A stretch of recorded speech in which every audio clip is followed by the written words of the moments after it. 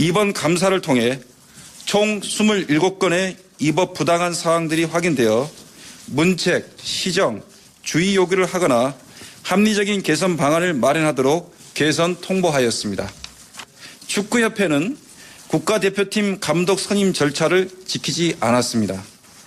축구협회는 크리스만 감독을 선임할 때 전력 강화위원회를 무력화시키고 전력 강화위원회에서 해야 하는 2차 최종 면접을 권한 없는 회장이 직접 진행하였습니다. 또한 이사의 선임 절차도 누락하였습니다.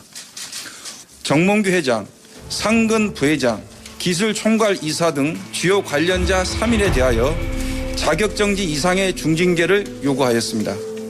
더불어 홍명보 국가대표팀 감독 선임은 권한 없는 자의 불공정하고 불투명한 추천으로 이루어진 절차적 하자가 확인된 만큼 축구협회가 전력강화위원회에서 국가대표팀 감독 후보자를 다시 추천하여 이사회에서 선임하는 방안 등을 포함하여 감독 선임 과정의 절차적 하자를 스스로 치유할 수 있는 방안을 강구하도록 통보하였습니다.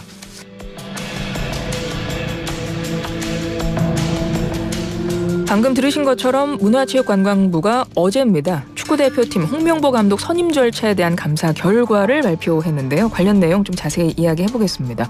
최근까지도 대한축구협회 내부 문제에 대해서 쓴소리를 아끼지 않았던 분이죠. 일명 축구계 독립투사로도 불리고 있는 분인데요. 박문성 축구 해설위원 전화 연결해 봅니다. 위원님 안녕하세요. 네, 안녕하세요. 네. 위원님 지금 스페인에 계신다고 들었습니다. 지금 그쪽 새벽일 텐데 감사합니다. 아, 예, 아닙니다. 네네. 예, 워낙 좀 이 사안에 대해서 이렇게 위원님께 여쭤보고 싶어가지고 저희가 어, 연락을 드렸고 위원님도 어제 문체부 네. 감사 결과 보셨을 텐데 일단 어떻게 보셨습니까? 어, 어제 일단 보면서는 사실 이 문제가 어, 거의 한 1년 정도를 좀 끌고 오는 문제죠. 클린스만 감독의 사인부터 해임부터 이제 포함을 하자면요. 그래서 어, 좀 길게 끌고 왔다. 잘 마무리돼야 될 텐데 어제 이제 문체부가 27가지를 지적을 하면서 중징계를 요구를 했는데 한편으로는 이렇게 이제 결론이 나아지나라는 생각이 드는 동시에 또 하나는 어, 또 축구협회가 이거 관련해서 또 다른 입장을 갖고 있다라고 하니까 어, 한편으로 좀 답답하기도 하고요. 여러 가지 생각들이 좀 겹칩니다. 음, 가장 주목해서 어떤 부분 보셨어요? 어, 사실 어제는 뭐 종합적인 감사에 대한 결과였기 때문에요. 어, 기존에 우리가 지적하고 알고 있었던 문제, 예를 들면 감독 선임 절차라든지 승부조작범들 사면 문제라든지 이런 것도 있었지만, 어, 좀 충격적인 것도 있었죠. 예를 들어서, 어, 감독들의 자격증이라고 있는 B급 자격증을 주지 말아야 될 사람들에게 줬다라든지, 음, 그다음에 그 축구협회에서 일을 하는 비상근 임원진들에게 주지 않아도 될 도- 돈인 뭐 28억을 줬다든지 이런 것들은 좀 어, 너무 당혹스럽기도 하고 음, 어, 어떻게 이렇게까지 됐지라고 해서 좀 참담하기도 하고 좀 그랬습니다. 그랬군요. 어, 말씀하셨듯이 한 1년여간 지속되어 온 문제가 지난 7월부터 이제 감사를 벌여서 어제 최종 결과를 발표한 네네. 건데 문체부에서 어, 네. 이- 어제 가- 발표한 내용 중에 보면 일단 핵심적으로는 두 가지인 것 같아요. 그러니까 주요 임원들 자격 정지 이상의 중징계를 요구했고 또 하나는 감독 선임 절차를 규정대로 다시 밟아라. 이제 이 내용 두 가지인 것 같거든요. 저 좀 여쭤보면 그렇죠. 네. 예, 그렇죠. 핵심적으로는 자격 정지 이상의 중징계라는 건 어떤 의미일까요? 음, 이제 그 말 그대로 놓고 보자면은 정관에 따르면 이제 자격 정지 이상의 중징계는 내용으로 놓고 보면 말 그대로 자격 정지시키는 게 있고요. 또 네. 하나는 어, 제명을 시키는 게 있습니다. 음, 어, 또 하나는 해임을 하는 게 있죠. 그러니까 축구협회장의 어, 권한을 즉시 정지시키는 것, 아니면 축구협회 회원에서 제명을 하는 것, 아니면 말 그대로 어, 회장 자리에서 해임을 하는 것 이렇게 될 수 있겠는데, 네. 어, 말 그대로 이제 중징계죠. 이 정도면 어, 음. 자리에서 물러나게 하는-거나 힘을 놓게 하는 거니까. 이제 그래서 지금 27가지나 유업 사항들 어, 부당한 어떤 업무 지시나 이런 게 나왔기 때문에 어, 중징계를 해야 된다라고 하는 게 하나 있는 거고 또 하나는 많은 분들이 좀 그렇게 느끼실 것 같아요. 아니 잘못을 했으면 예를 들어서 그냥 물러나라 라고 하면 되지 왜 중징계를 요구를 하지? 음, 요구한다 이렇게 표현했죠. 그쵸. 그러니까 예. 예를 들면 뭐 해임을 한다. 제명한다가 아니라 해임할 것을 요구한다. 음, 제명할 것을 요구한다. 그것도 누가 하느냐? 아, 뭐 문체부나 아니면 다른 외부 기관이 아니라 축구협회 내부에 있는 어, 공정관리, 공정위원회 뭐 이런 데서 얘기를 했단 말이죠. 네네. 그러니까 이제 많은 분들은 아니 그러면 축구협회 내부에 있는 어떤 기관이 축구협회의 수장인 정봉규 회장을 중징계 내릴 수 있나? 음, 뭐 이런 거죠. 네네. 그리고 말씀드렸던 것처럼 그냥 결정을 하면 되지 왜 그거를 요구를 하지 이런 음. 건데요. 뭐 많은 분들이 이제 그동안 좀 들으셨겠지만 어, 축구협회는 피파라고 하는 국제기구의 산하 단체죠. 어, 이 경우 그 외부에 있는 어, 어떤 힘이 어, 축구협회 회장이나 인사 문제에 직접적으로 개입하는 거에 대해서는 피파가 제재를 내릴 수가 있어요. 네. 그래서 지금 이 문제를 좀 피하기 위해서 그러니까 입장은 명확히 한 거죠. 잘못을 했다. 27가지. 네.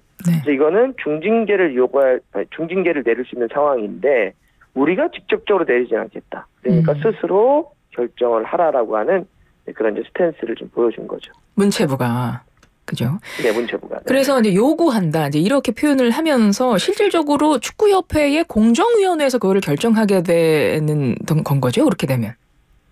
맞습니다. 근데, 근데 스포츠의 공정위원회라고 하는 게 결정을 할 텐데 사실 공정위원회는 그 뭐 나중에 관심 있으신 분들은 축구협회 홈페이지나 이쪽에 들어가 보시면 네. 다른 데는 위원회들이 위원장이나 이런 조직 체계가 공개되어 있어요. 누가 하는지. 음. 근데 공정위원회 같은 경우는 누가 하는지 어떻게 구성되는지가 없습니다.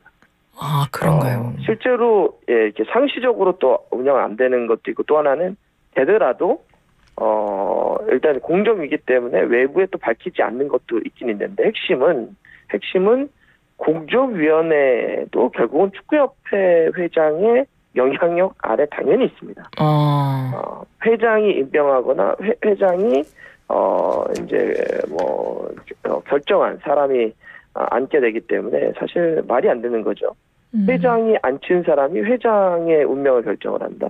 이 자체가 좀 모순이 있기 때문에 어, 이거에 대해서는 사실 좀 많은 논란들이 있는데 음. 근데 좀 이렇게 해석하셔야 될 것 같아요. 말씀드렸던 것처럼 어, 그거를 알면서도 문체부가 공정위원회가 하라라고 하는 거는 네. 실제로 공정위원회 보고 하라는 것이 아니라 이 정도로 잘못을 했기 때문에 스스로 축구협회 회장에게 거취를 알아서 결정하라 음. 라고 하는 그런 메시지가 담겨 있는 거죠. 네. 감독 선임 절차를 규정대로 다시 밟으라 이건 어떻게 봐야 됩니까? 이거 절차적 하자를 바로 잡으라는 말인데 그럼 결과는 그대로일 수도 있고 아닐 수도 있고 뭐 이건 어떻게 하라는 요구일까요? 어, 그러니까 뭐 지금 홍명보 감독에 대해서는 예. 어, 뭐 우리가 결론적으로 홍명보 감독이 얼마나 경쟁력이 있느냐 없느냐를 논하지는 않아왔죠 처음부터. 네네. 뭐 홍- 홍명보 감독이 뭐 월드컵 무대에서 어떨 것 같다 저럴 것 같다. 이래서 음. 사람들이 반대했던 것이 아니라 불공정하게 선임됐다는 거죠. 그러니까 뭐 이제는 팬들이 뭐 그냥 많이 얘기하시는 집 앞 빵집에서 밤에 인터뷰하는 게 그게 어떻게 면접이 되느냐. 음. 어, 왜 나, 다른 외국인 감독들의 다른 후보들은 뭐 서류 제출도 받고, 그러니까 우리가 예를 들면, 어, 어떤 회사에 취업을 할 때 이력서를 제출하고 면접을 보는 것처럼 다른 외국인 감독들에게는 자료도 받고 면접도 진행을 했는데 왜 홍명보 감독에게는 그런 모든 절차가 어, 다 예외로 됐느냐. 즉, 음. 다른 후보들과 왜 불공정하게 특혜를 줬느냐 문제였죠. 그래서 지금 어 사람들의 지적도 거기 있었고 바로 불공정에 있었던 네, 거고 네. 문체부도 결론적으로 얘기하면 그래서 뭐라고 얘기했냐면 어, 권, 권한이 없는 사람에 의한 불공정한 선택 즉 그러니까 이임생 이사가 권한이 없는데 선임을 했던 거죠 불공정 과정을 통해서 네. 더 간단하게 말씀드리면 무면허 운전을 했다는 거예요. 음. 어, 그래서 이제 이걸 다시 발부하는 건데, 그래서 이 해법은 당연히 너무나 당연하게도 뭐냐면, 다시 과정을 발부하는 거죠. 그게 어, 홍명보 감독에게 뭐 당연히 될 거니까 다시 이게 아니라 예, 예. 홍명 다시 공고를 내고 음. 그러면 홍명보 감독도 원한다고 한다면 거기 그렇죠. 다시 어, 지원을 해라. 아. 그리고 다른 사람들도 똑같이 지원을 해라. 그래서 어 그 공정한 룰에 의해서 과정을 밟아라. 그래 음. 홍명보 감독이 뽑히면 그건 인정. 근데 다른 사람이 뽑히면 그것도 인정. 이렇게 하겠다는 음. 거죠. 그러니까 홍명보 감독에게는 처음부터 축구협회가 그렇게 어, 과정 프로세스를 다시 밟고 거기에 참여해서 음. 공정한 과정을 밟아라. 그래서 뭐 된다면 뭐 우리는 인정하겠다. 이런 아. 거죠. 그렇군요. 앞서 문, 문체부가 아, 그러니까 국제축구연맹 피파가 아, 축구협회 행정 자율성 확보하라고 요구를 했고 그에 대한 어떤 책임 소재나 그 부담감 때문에 문체부가 아, 축구협회 측에 이제 요구한다 이런 방식으로 감사 결과를 발표를 했는데 위원님이 보시기에는 네네. 문체부의 메시지가 그럼 조금 더 명확했어야 됐고 명확할 수 있었다 이런 입장이신 거예요? 그 부분이 좀 아쉬운가요? 아쉬우신가요? 음, 뭐 마음은 좀 아쉬운 건 있습니다. 그러니까 음. 마음은 무슨 얘기냐면 좀더 어, 뭐 확실하게 해서 어, 27가지는 잘못했으면 음. 그러면 책임도 확실하게 묻고 그다음에 뭐 어떤 권한도 행사, 행사했으면 얼마나 좋았을까라고 하는 그런 속 시원함에 대한 갈망 갈증은 있는데 네. 저는 뭐 이성적으로는 저는 문체부가 그렇게 발표했던 건 이해가 됩니다. 예. 그리고 이 요구한다로 끝날 것이니까 음. 저는 그렇지 않다고 보거든요. 어. 어, 이번에 문체부가 발표할 때 몇 가지 메시지를 숨기 에, 이렇게 드러냅니다. 메시지로. 뭐가 있었죠? 예를 들어서 음. 이번에 그 돈 문제들을 구체적으로 어, 집중적으로 좀 거론을 했죠. 예를 들면 어, 비상근 부회장이나 이사들에게 불필요한 28억 원이 제공됐다든지 어. 천안의 국가대표 트레이닝 센터를 건설하는데 국가의 돈이 들어갔고 그런데 어, 규정과 다르게 약속과 다르게 공금을 뉴욕에서 다르게 예, 어, 쓴 게 있다.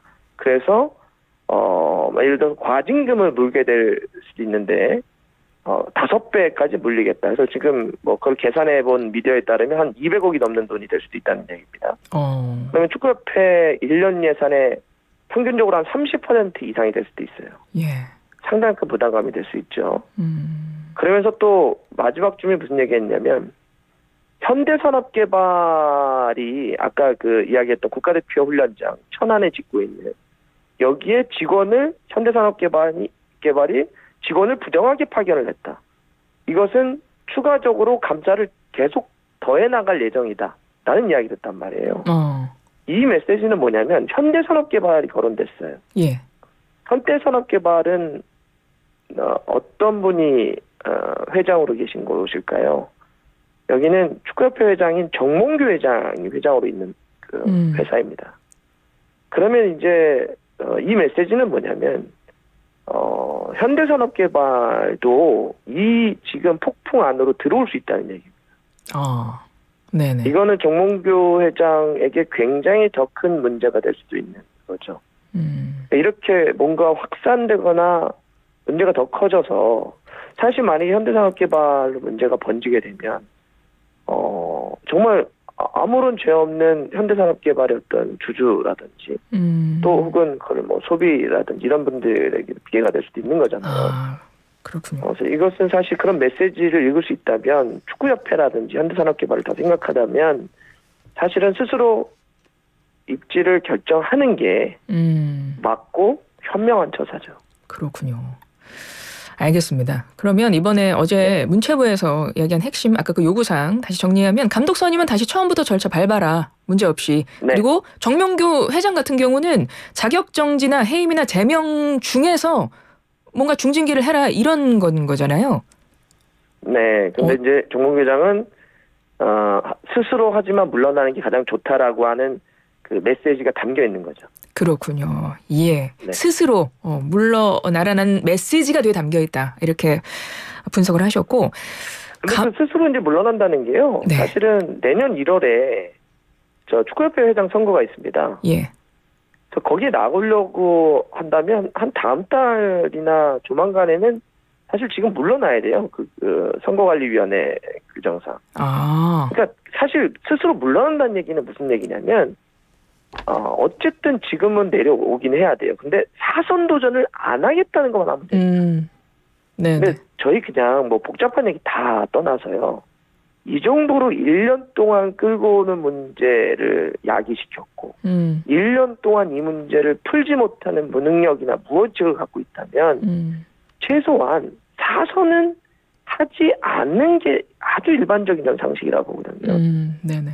지금 스스로 물러난다는 얘기는 사선은 하지 않겠다는 얘기요. 사실은 그거를 못 받아들인다는 건 저는 정말 납득하기 어렵습니다. 아, 그러니까 의원님께서는 이 정도로 문제를 음, 일으켰으면 사선을 하지 말아야죠. 예, 불출마하고 바- 지금 당장 회장이 물러나야 된다 이런 입장이신 건가 봐요. 이렇게 물러난다는 게 음, 사실은 그냥 삼선 세 번의 임기 다 하고 내려오는 거랑 똑같아요, 사실은. 음, 사, 사선 연임만 안 한다는 것만 되는 겁니다. 사실, 현, 어, 현실적으로는. 예. 네. 알겠습니다. 아, 근데 이제 감독 선임 절차 다시 밟으라고 그랬는데 지금 현실적으로 그거 가능합니까? 예를 들면 지금 예선을 하고 있는데 가능하냐 이런 건가요? 그것도 그렇고 시간상으로 그렇죠. 예선 중이기도 하고 뭐 2개월 내에 해라 이러기도 하고 했거든요. 어떻게 보세요? 홍명보 감독 선임하는데 8개월 걸렸습니다. 아, 축구협회의 혼선 때문에. 네네. 어, 할 수 있었음에도 불구하고 이미 축구협회가 8개월을 걸렸고 음, 과정에서 두 번이나 임시 감독을 썼고요. 우리는 그 과정에서 월드컵 예선을 계속 치렀습니다. 음, 어, 안 해왔던 게 아닙니다. 그리고 어, 실제로 그렇게 해오기도 했지만 한번 생각해 보시죠. 이제 우리 사회는 많이 달라졌습니다. 예. 무엇인가 어떤 결과가 중요하다고 과정에서의 절차를 다 무시하고 누군가에게 특혜를 주어지고 과정이 불공정한 걸 납득하고 받아들여라 이럴 수 있는 사회가 아니라고 봅니다. 음, 우리는 특히 운동이 어, 우승을 하고 1등도 중요하지만 이제 점점 우리 사회는 1등이 아니어도 어, 과정에서 흘린 땀과 노력 혹은 그 정당함에 음, 대해서 박수 칠 수 있는 그런 사회가 됐죠. 예. 어, 반대로 얘기하면 그 과정이 너무나 잘못됐음에도 불구하고 결과 때문에 아주 마지막 어, 우리의 겨- 결론 때문에 그런 것들을 다 묻고 간다. 음, 그러면 아마 어, 지금 축구를 바라보시는 많은 아. 팬들과 국민들은 진심 어린 박수를 쳐주지 않을 겁니다. 더 북중- 길게 음, 봐야 됩니다. 그렇군요. 북중미 월드컵 3차 예선 중입니다. 홍명감 감독은 그럼 어떻게 되는 거예요? 그러니까 지금은 사실은 이 문제도 어, 이 문제야말로 사실은 홍명보 감독이 진짜 결단이에요. 이 문제는. 어, 그러니까 어쨌든 선임이 된 상태이기 때문에 국가대표 감독이 어, 홍명보 감독이 그렇게 재선임을 밟겠다라고 물러나서 다시 과정을 밟지 않으면은 현재로서는 그냥 가게 될 건데 음, 하지만 굉장히 큰 부담감을 갖고 계속 가게 될 겁니다. 그리고 회장이 바뀌게 되면 또 어떻게 될지 모르죠. 음. 그 끝으로- 회장은 음. 다시 절차를 밟, 밟아라 이렇게 할 수도 있는 거니까. 알겠습니다. 요 짧게 끝으로 여쭤볼게요. 축구협회는 이번 감사 결과에 대해서 재심의 요청할 계획이라고 했거든요. 한 말씀 해주신다면 어떻게 보세요? 아니면 어떻게 돼야 한다고 보세요? 이쯤이면 그만하시는 게 맞죠. 그러니까 정말 100번 양보해서 그토록 축- 한국 축구를 사랑하시고 어, 대한축구협회를 아끼신다면 음, 어, 이제 리더답게 지금의 이 난맥상들, 이 혼선들, 그리고 그 유탄에 맞아서 쓰러지고 있는 많은 실무자들을 아끼, 저, 보호, 보호하기 위해서라도, 살려내기 위해서라도 그만하시는 게 맞죠. 여기서 재심의를 요구한다든지 아니면 또 해명에 해명을 하고 있는데, 그 그동안 해명 저희가 다 봤잖아요. 네, 네. 이제는 주장을 해야 될 시간이 지났습니다. 만약에 음. 정말 그렇게 억울하다고 한다면 어, 구체적인 서류로 입증을 하면 되는데 구체적인 서류로 입증을 한 번도 하지 못했습니다. 음, 예전에 그 청문회 때부터 계속 주장만 하잖아요. 근데 그 이번에 문체부의 감사는 모든 것들을 이- 다 들여다봐서 서류를 통해서 감사한 결과를 발표한 건데 계속 지금 보면 저희는 그런 적이 없습니다. 안 음. 했습니다. 저희의 생각은 그와 다릅니다. 이제는 주장의 영역의 시간은 끝났어요. 알겠습니다. 이제는 만약에 그런 게 필요하다고 하면 구체적인 자료를 제출해서 입증을 하면 됩니다. 음, 그렇게 하지 못하고 있잖아요. 음, 이렇게 된다면 더 이상 더 많은 사람들을 힘들게 하거나 한국 축구를 시계를 뒤로 돌리게 하지 말고 지금 스스로 물러나는 게 맞다. 꼭 진심 어리게 좀 말씀드리고 싶습니다. 알겠습니다. 사실 아, 지금 위원님께서 스페인 현지에 계시고 새벽 어, 현지가 지금 한 새벽 3시 정도로 알고 있는데 이렇게 어렵게 아, 연결을 했습니다. 다시 한번 감사드리고요. 시간 관계상 오늘은 문체부 어. 감사 결과에 대해서만 여쭤봤지만 대표팀 전력 분석은 나중에 한국에 돌아오신 후에 다시 모시겠습니다. 위원님 다시 한번 감사드려요. 고맙습니다. 네, 귀한 시간 내주셔서 감사합니다. 지금까지 박문성 축구 해설위원이었습니다.